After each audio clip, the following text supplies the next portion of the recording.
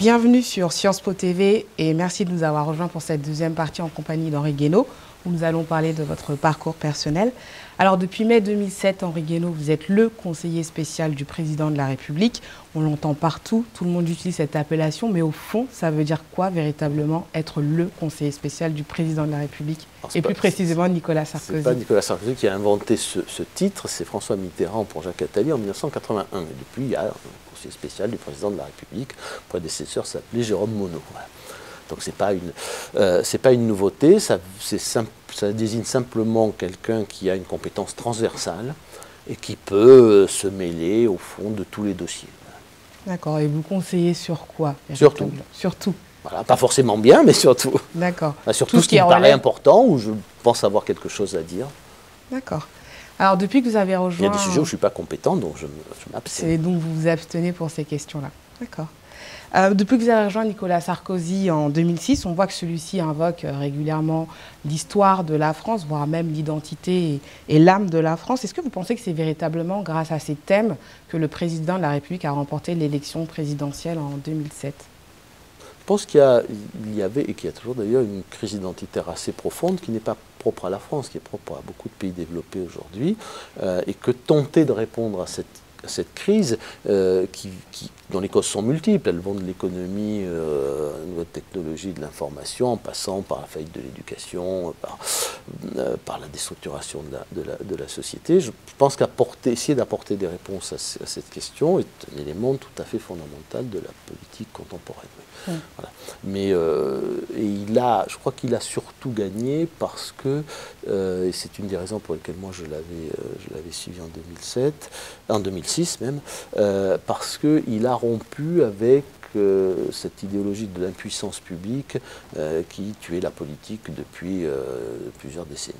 L'idée que la politique ne peut rien sur rien, euh, bien, il, s'est présenté comme un candidat euh, qui était le contraire du candidat du laisser-faire, euh, du candidat de l'impuissance. il a dit voilà, on peut encore faire des, choses et moi je refuse de rester les bras croisés quand un problème se pose et qu'il ne trouve pas de solution. Mmh. On a vu, comme je disais, que vous invoquez régulièrement l'histoire de France. Comment vous jugez le, le rôle, le poids et la place de l'histoire dans une campagne présidentielle? Oh, je, suis incapable de le juger, mais je, pense que quand on, parle, quand on fait une campagne présidentielle, on parle aux Français à travers la France, à travers une certaine idée de la France, à travers cet être collectif qui s'appelle la France. Et cet être, il a, une histoire, il a une psychologie collective, euh, il, a, des représentations euh, donc il y a forcément une dimension, euh, une dimension historique. Et le rapport qu'on a à l'histoire de France, la façon dont on la regarde, la façon dont on la lit, euh, dont on la raconte, dit beaucoup de choses sur les, références d'un candidat et sur les principes qui vont gouverner son action. Je Donc on ne peut pas en faire l'économie il faut... Je ne crois pas. Je crois qu'on ne peut pas en faire l'économie. Je crois mhm. que le rapport qu'on a à l'histoire de son pays, comme le rapport qu'on a à sa propre histoire, on ne peut pas en faire l'économie. D'accord. On dit souvent que vous êtes la plume du président de la République. Vous avez notamment apporté votre contribution à plusieurs de ses discours pendant, pendant la campagne, dont un dans lequel le président s'est réclamé comme l'héritier de, de Jaurès. Est-ce que ce n'est pas paradoxal avec le Nicolas Sarkozy que l'on connaît? Alors, d'abord, je vais voir ce terme de plume. Hein. Je, ni une plume, ni un perroquet. Tout le monde utilise. Voilà. Bon, je, déteste ça. Il m'arrive d'écrire, mais euh, je ne suis pas un écrivain public. Euh, donc, j'écris parce que je partage euh, les, idées, les convictions qu'il a envie de, défendre. Mhm. C'est un engagement, voilà, c'est pas un métier d'écrire. Et je ne sais pas ce qu'est Nicolas Sarkozy que l'on connaît. Hein. Moi, je sais quel Nicolas Sarkozy que je connais. Et comment est-il? Euh, bah, il est assez conforme au discours qu'on a tenu euh, pendant la campagne présidentielle. Et si s'il n'avait pas été, il n'aurait pas été élu, parce qu'une campagne présidentielle, c'est une épreuve de vérité. Voilà. Et je, précise d'ailleurs qu'il n'a jamais dit qu'il était l'héritier de, de, Jaurès. Il a dit que euh, dans notre héritage commun, il y a Jaurès, il y a Léon Blum.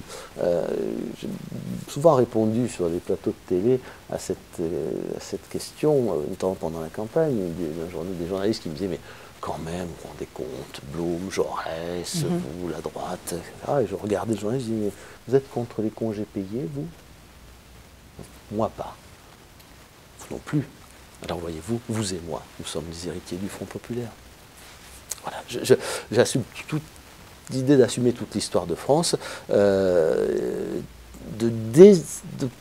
d'opérer une forme de désaffiliation euh, vous savez, ces, filiations obligatoires qu'on vous impose et qui vous empêchent de penser. Quand même le, et alors, moi, Jaurès, quand je lis les discours à la jeunesse de Jaurès, c'est relié à la gauche. Euh, Mais je ne sais pas ce que c'est que la gauche. Qu'est-ce que c'est que la gauche? Qu'est-ce que c'est que la gauche de Jaurès par rapport à celle d'aujourd'hui? Qu'est-ce que c'est mhm. que la gauche du Front populaire euh, par rapport à celle, celle d'aujourd'hui? Moi, je ne suis pas l'héritier des maîtres de forge ni des anti-Dreyfusards. Euh, voilà, ces cases, ces filiations obligatoires, elles empêchent de penser. Moi, je veux pouvoir prendre dans l'histoire de mon pays ce, dans quoi je me reconnais le mieux et qui, échappe à ces clivages. Je suis parfait. Pourquoi euh, la sécurité sociale, c'est un projet de gauche peut-être? Non, c'est le Conseil national de la résistance où était tous les partis qui avaient participé à la résistance, et c'est le général de Gaulle qui a présidé à sa création euh, les allocations chômage. Le système qu'on connaît aujourd'hui, il s'est fait dans les années 60. Mhm. Le général de Gaulle était président de la République. Pourquoi parler du chômage, c'est être de gauche, et parler de la sécurité, c'est être de droite? Mais c'est une blague. Tous les Français ont droit à la sécurité, et on, le, et, on, a le devoir de les protéger du chômage. Bon, moi, je ne me reconnais pas dans, dans, dans ces cases. Et le président de la République, le candidat Nicolas Sarkozy à l'époque, a fait exploser ces cases euh, et a entrepris cette, espèce de, encore une fois, de, désaffiliation automatique euh, qui vous fait forcément les héritiers de gens dont vous ne voulez pas être les héritiers. Pourquoi resterions-nous prisonniers de cela? Et puis, vous savez, la droite et la gauche, ce sont des concepts qui ont changé de sens euh, tout au long des 200 dernières années. Hein. Où mettriez-vous aujourd'hui Jules Ferry? Où mettriez-vous Clémenceau? Et quand on lit les discours à la jeunesse de Jaurès, moi, je m'y reconnais pleinement. Et je pense qu'aujourd'hui, on considérait que ce sont des discours de droite et qui sait, peut-être même réactionnaires. Alors, vous savez, et si on ne pensait par nous-mêmes, euh, moi j'assume, j'ai une grande admiration pour Jaurès, j'ai une grande admiration pour, pour, Léon Blum. Je ne dis pas que je suis entièrement euh, partisan de la politique à mener le Front populaire, mais sur beaucoup de points, je trouve que ça a été une, grande avancée. Et euh, de là d'où je viens, je préfère le Front, encore une fois, Léon Blum au maître de forge des années 30. Voilà, c'est mon point de vue. Et je me suis donc parfaitement reconnu dans la campagne qu'a menée le président de la République à l'époque sur ces sujets.